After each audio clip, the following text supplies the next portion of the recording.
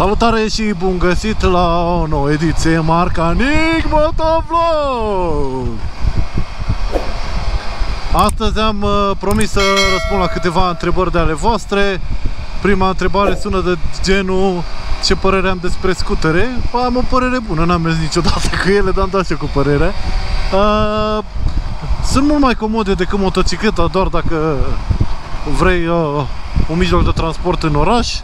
A, și acel mini portbagaj care na, e suficient să-ți bagi casca, să-ți faci ei uh, 100 de grame de parizer cu pâine face un submarin de ăla. Uh, glumesc, că ai uh, destule uh, să-ți faci cumpărături de astea mici, așa e perfect. E, e ok, consumă puțin, poziție comodă pe el, parbriz. Probabil că sunt astea mai noi și cu șaua încălzită și ghidoanele, cel puțin uh, astea mai uh, uh, răspândite, că așa știu că BMW are C-ul ăla de 650 care numai scooter nu e, că vorba e cât o motocicletă. Dar uh, așa mă tată, urcați-vă unul pe altul. Nebunilor care sunteți voi nebuni. Acum mă lasă și pe mine vreunul, hai să vedem, hai că mă lasă. Și, na, pentru oraș mi se pare super ok. Cred că nici prețurile nu sunt prea mari la piese, la manoperă, la... E relativ mic, îl păcălești oriunde pe lângă un stâlp, între două mașini, ca și mod de parcare. Acum nu știu cât de civilizat sunt ăștia, cum îl țineți noaptea pe la bloc. Că am mai văzut un film postat de voi pe un grup de ăsta în care își parcase un conațional motocicleta în fața blocului și a trecut un derbedeu de ăsta pe la vreo nu știu ce oră și a dat cu ea de pământ. I-a dat așa, un șuț banc, tranc. Nu, nu știu de ce, dar un idiot.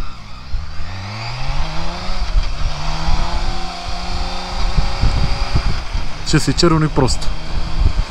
Așa că na, am o părere bună, oricum sunt mai ieftine decât motocicleta, bineînțeles, nu sunt la modă, pentru că în România trebuie să ții lucruri care sunt la modă, adică dacă ții un scooter râd adevărații motocicliști de tine, că ești un pârlit, că ți-ai luat o sărăcie. Asta e mentalitatea, din păcate, în România, vă supărați, nu vă supărați, ăsta e adevărul. Mulți dintre voi nu vă luați lucruri utile, vă luați lucruri care sunt la modă și care dau bine. Că, după cum bine știți, motocicleta e aspirator de femei, ai motocicletă, sar femeile pe tine. Ai scooter, uh, îți scuipă semințe în cap. Hai să fim serioși. Ține de educație. Vrei să-ți iei o mârlancă de aia? Sau un cioban? N-ai, poți să ții și tractor, nu ai nevoie de scooter sau de motocicletă. Dar uh, astea sunt niște prostii. Am ajuns în vârful dealului aici și bineînțeles că și vremea a început să joace feste așa frumos, sau ce frumos se înclină Turingul, ia uite-l Op.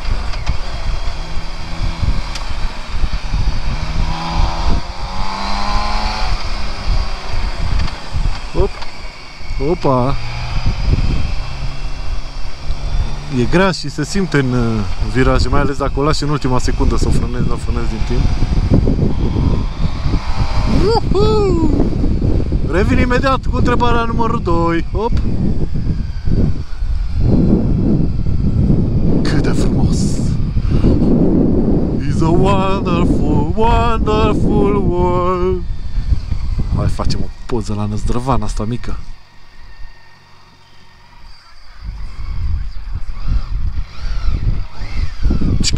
Stop! Brr, brr. Shooting time!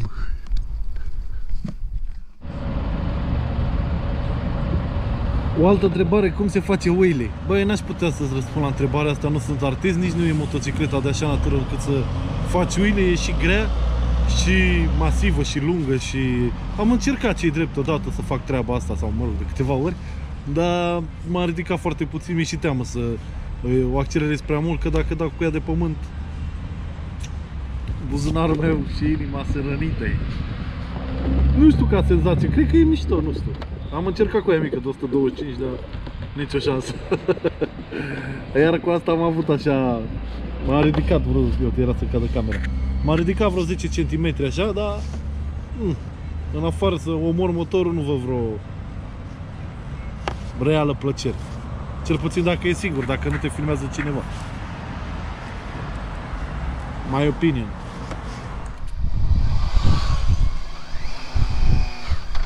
Întrebare trebătoare. Ce părere am despre comunitatea moto din România?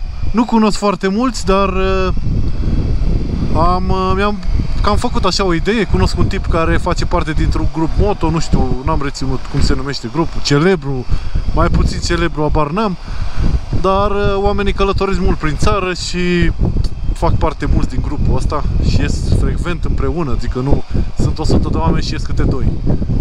Uh, și mi-au zis că na, sunt, uh, sunt ok, știu că sunt grupul la care și partic, uh, pentru a participa sau a face parte din el trebuie să cotizeze anual o taxă, cum e grupul proprietarilor de Harley, nu știu dacă și altele, abar n-am. Uh, uh, îți solicită o taxă pentru a fi membru, dar uh, eu sunt pro cluburile astea, mai ales uh, dacă din ele fac parte oameni educați și civilizați, de la care este multe de învățat, mai ales în momentul în care ești tânăr. Uh, dacă au niște programe de asta de training, uh, să zic așa, cumva gratuit sau cu anumite reduceri, eu vă spun cum e aici, pentru că fac acum o, parante- o paralelă așa între ceea ce se întâmplă aici cu cluburile și cluburile din România. Nu cunosc în detaliu foarte mult în România, de-aia mă gândesc că sunt cumva asemănătoare sau ar trebui să fie, nu știu. Și ai uh, tot felul de evenimente la care poți participa, te poți distra, concursuri. Nu știu, să mergi pe iarbă cu motocicleta, să faci concurs așa 4-5 motociclete în linie, uh, care merge cu viteză cea mai mică, dar fără să pui picioarele jos, să vezi atunci. Așa să-i dai și tu întâia blană după loc, poate și Gigel de la clasa a doua. Dar să, e vorba de manevrabilitate și vorba să-ți cunoști foarte bine motocicleta, să mergi cu ea cu 2-3 la oră pe iarbă, fără să pui picioarele jos, trebuie să fii meseriaș.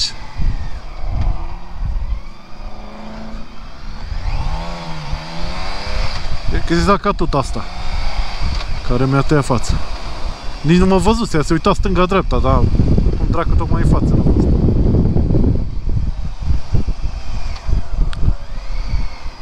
Important e să faci parte dintr-un grup uh, de unde ai de învățat, unde oamenii au timp să-ți acorde pentru a merge, că fiind începător nu poți, ai antrenament și rezistență să mergi 4-5 ore cu ei în grup și atunci trebuie să existe înțelegere. Dacă nu există înțelegere, renunțați la treaba asta sau alegeți trasee mai scurte. Pentru că devine foarte obositor în momentul în care ești la început și ești motociclist și te obosește foarte repede chestia asta și na, poate duce la accidente, doamne ferește. Dar, na, fiind membru într-un club, socializezi foarte mult, îți cunoști colegii. Cred că e un lucru drăguț. Repet, important e să fie oameni de calitate, nu destrăbălați, să zic așa, sau irresponsabil. Am înțeles că există cumva și în România între cluburi o, o anume concurență, nu știu cum să zic, mai mult decât o concurență. Chiar nu prea se salută unii cu alții, nu se înghit, nu știu, tipic mioritic, aș putea spune din punctul ăsta de vedere. Așa am auzit, acum vă spun și eu ce, ce am auzit. Nu știu de ce ar trebui dacă ești pe un Vistar cu nu știu ce club scris pe vesta ta Angel sau habar n-am și apar eu cu alt altă denumire pe vesta mea de ce ar trebui să nu știu, să iasă discuții sau să nu înțelege, sincer, habar n-am.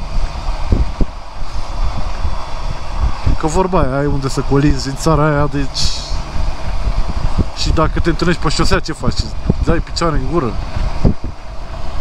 Mă rog, Sper să nu fie așa, totuși. Dar, oricum, aveți multe de învățat. Eu fac parte dintr-un grup, un grup aici neoficial, practic nu există taxă de participare sau un grup uh, declarat, ci doar un grup de prieteni mai exact, nu e un grup moto, e un grup de prieteni care ne dăm întâlnire în același punct, în aceeași zi, la aceeași oră, adică vineri la ora 7 seara și de acolo discutăm și vedem pe unde și ce încotro mergem. Până oraș, dacă vrem să mergem la mare, asta, mă rog, vara, că de caz. Și cam atât, na. Și mai am pe Dani care cu carte de muncă, să zic așa, cu toate actele și oficial înscris la grupul proprietarilor de Harley cu care am tot bănănăit în sus și în jos, în lung și în lat alături de ei, niște oameni extraordinari, majoritatea trecut de 50 de ani, de la care chiar ai ce să înveți, cu care nu te încingi la băutură și pleci cu o dita mai căpățâna de nu-ți mai intră în cască și oameni educați și cu bun simț, care probabil au copii acasă de vârsta mea.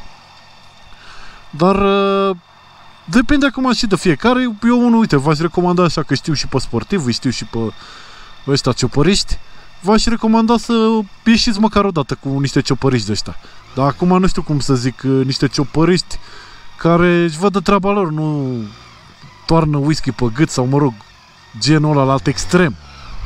Să mergeți cu ei odată așa la o plimbare și să vedeți, uh, să puteți face voi singură diferență între sportiv și ciopăriști. Să vedeți cât de responsabil merg pe șosea, cel puțin ăștia de aici. Te uiți frumos în coloană 100, cam așa, când merge mulți. Când merge mulți, mulți, mulți, nu știu, 40-50 de motocicliști, 100, nu merge mai mult, că uh, riscăm să ne pierdem pe șosea. Și așa să fim cumva, cum asați toți. Organizați frumos, există capitanul primul în coloană, încă unul la jumătate, încă unul în spate, vorbesc între ei, uh, când se schimbă direcția de drum, se oprește ăla, ne arată, toți facem pe aici, nu... O ia unul înainte și sună după 20 de minute, bă, unde sunteți? Și pe urmă sau 40 de oameni să-l aștepte pe rătăcitul ăla, că, na, că nu s-au organizat ăștia cu coloana, să o luăm, să fim toți în aceeași direcție, sau mă rog. Și veți avea multe lucruri de învățat